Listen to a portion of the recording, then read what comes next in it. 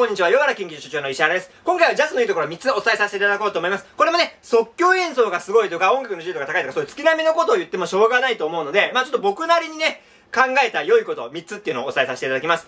1個目意外性がある。これね、意外性があるんですよ。ジャズ聴いてるとかやってると意外性があります。これね、この前僕カフェに行ったんですよ。これ、といっても、この前っても4、5年前なんですけれども、そこで3人の女の子が座っておりました。で、それで音楽の話をみんなでしてるんですよね。で、1人の方が言ったのが、私シャカラピッツが好きっつって。で、2人のか、2人の方が、私マキシマムザホルモンが好きって言ってんそれで3人目の女の子は、私ね、マイクスターンが好きって言ったんですよ。えー、って思いました。え、マイクスターン好きなんだって。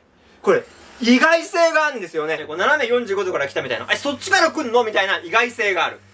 なんでこういった音楽の話題にジャズが好きっていうと、斜め45度から入ってくることができるんですよ。で、今ちょっと外で工事をしてまして、結構たまに工場音がうるさい時があるんですよ。工事がうるさいんですよ。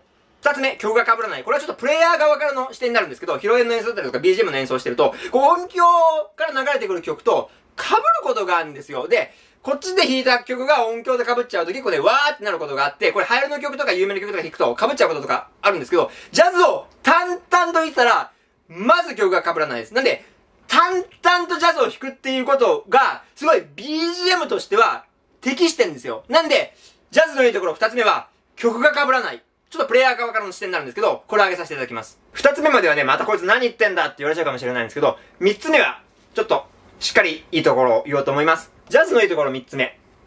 世代を超えて楽しめる。っていうことが、僕は、いいところだと思います。ジャズのいいところは世代を超えて楽しめる。で、クラシックもね、世代を超えて楽しめると思うんですよ。でも、ジャズは、世代を超えてその楽しみっていうのを体感できます。なんでかっていうと、ジャズセッションがあったりとか、体感するエンターテイメントだからです。なぜそんなにじゃすぐ体感できるかっていうと、一曲一曲に対する練習時間がそこまでいらないから、クラシックと比べてですけど、そこまでいらないから、人と合わせるっていうところまでが近いんですよ。なので実際意識の中で広まってしまえば、クラシックと比べて、すごい低い敷居の中で、こう世代を超えて体感できる音楽だったりとかエンターテイメントだと思います。これが僕が思うジャズの良いところ3つ目に挙げさせていただきます。今回はジャズのいいところ3つお話しさせていただきました。今回の動画はいかがだったでしょうか？この動画が少しでもいいなと思った方は、ぜひともチャンネル登録をよろしくお願いいたします。ヨアラ研究所では楽しいコンテンツを、面白いコンテンツを作れるように頑張っていきます。ご視聴ありがとうございました。ヨアラ研究所でした。